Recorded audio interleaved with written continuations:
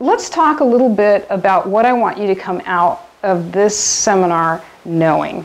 And the first thing and the most important thing is this if I have 20/20 vision, does that mean I have perfect vision? And most people define vision as being 20/20. And there's a problem with that. There's several problems with that, but one problem with that is we don't sit in a world that's 20 feet away all the time with one eye covered and stare at a little chart. So our visual system involves so much more than that. We have to be moving, we have to be using two eyes, we have to be switching distances and space constantly. Um, so a lot of the kids and adults even that come into therapy have 20/20 vision and they haven't been shown to have a problem in a lot of their eye exams and we'll talk about that in a minute too. Um, because some of the other things haven't been tested. So I want to give you kind of a definition that vision is not the same thing as sight. So I would say the 20/20 aspect is what I would call sight, not vision. so here's an example. Um, in schools, they do Snellen screenings where they're checking um, with the chart. 75% miss visual problems. And even a developmental screening, which is very in depth, we've done, we did one last year up at a school, and it was probably a good 15, 20 minutes per kid. And that's not even as in depth as an exam, that's just a screening. And even those miss 22% compared to a general eye exam. And a general eye exam I'm talking about is a developmental one where it's looking for that, uh, looking for specific things. Um, so this, do you guys know what this is a picture of? Have you guys ever seen this picture before? Okay, so can you all see it? So you know there's something up there, right? So this is an example that we need to use other things to use our visual system than just sight. And I'm going to give you a, a couple clues. One, this is something that you see every day. Um, well, maybe not every day, but you've seen it many, many times. You guys all know what it is. Do you get any, anybody have a clue as to what it is? No, it is an animal. so I'm going to give you a clue. These are ears. A bear. This is a nose. It's a cow. That's right. And another interesting thing about how our brain works with our eyes is um, would you say that the picture is of a boy or a girl? Or both? so, which one looks more male to you? The right or the left? Okay. So this one is just an example of how we use like um, contrast to kind of make decisions about things. So this is the same person, but one has different contrast than the other. And then of course you've seen pictures like this. Um, is it a lady and an old man under a bridge, or is it an old general?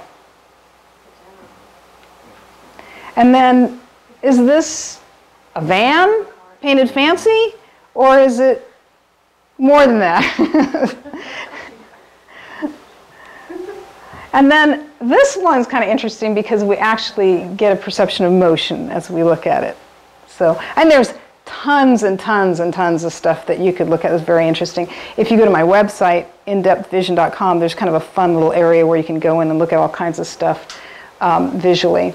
So why should we care about this? Um, so probably one of the biggest things that happens is we get a lot of kids that are fidgety, they're moving all around, they're not doing, staying at task, and um, we're labeling them ADHD or ADD or um, dyslexia or anxiety or spectrum disorders. There's not, it's not to say that they don't have those kind of things, but a lot of what we see has the same symptoms with a visual development problem. Um, and, and, of course, they can be comorbid. You can have more than one thing going as well. But if you can fix something, why not fix it rather than just label a problem? Um, there's also this huge demand on near point. Everything's getting smaller and more technological, and everything's close, close, close. And we weren't designed as human beings to be that way. And our visual system needs movement to get proper development. And we're doing less and less of that as well in our schools. Um, so, computer vision syndrome, have you guys ever heard of that? Because this is a lot of adults have this problem. eyes are dry, they're strained, they're hurting, sometimes doubling, because they can't manage this distance, even with a prescription. And um, you actually can do therapy for that as well. Uh, and the physical movement, you know, is being de-emphasized in our schools. Um, social interaction, exercise, healthy nutrition. So as many, among children that are reading disabled, as many as 80% show deficiency in one or more basic visual skill. And I'm so glad that you're here and you work with kids that are having reading problems. Um, because if I could get this out to everybody that works with kids and reading problems, that would be great.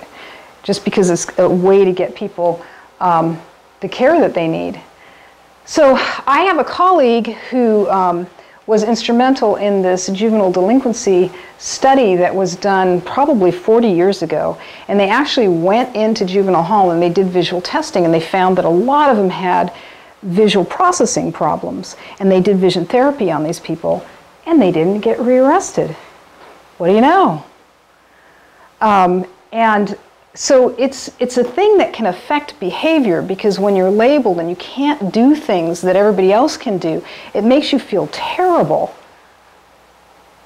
Um, vision therapy can prevent and remediate amblyopia, strabismus, as well as other visual problems with the use of lenses, prisms, vision therapy, and generally without surgery.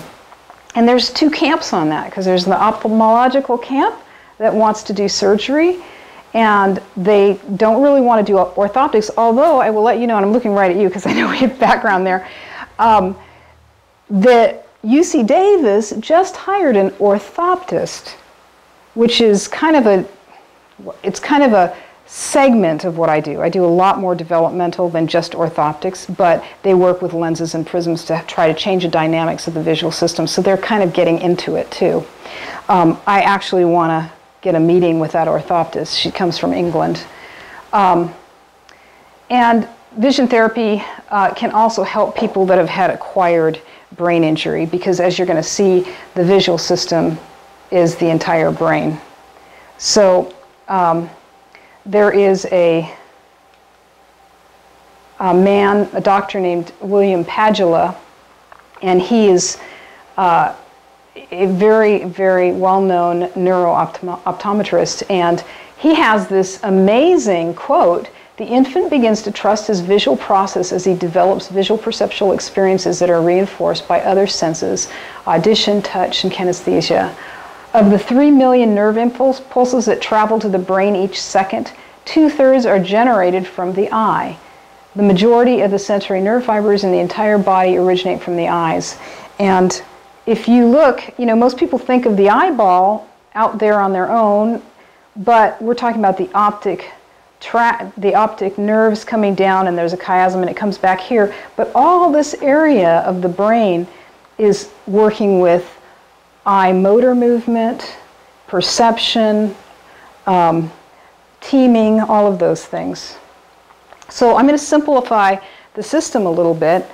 Um, if we think of it as a computer system, we can talk about the input skills, the processing and the visual processing, and then the output skills. And of course, it's, it's never this simple. um, and vision perception leading to learning.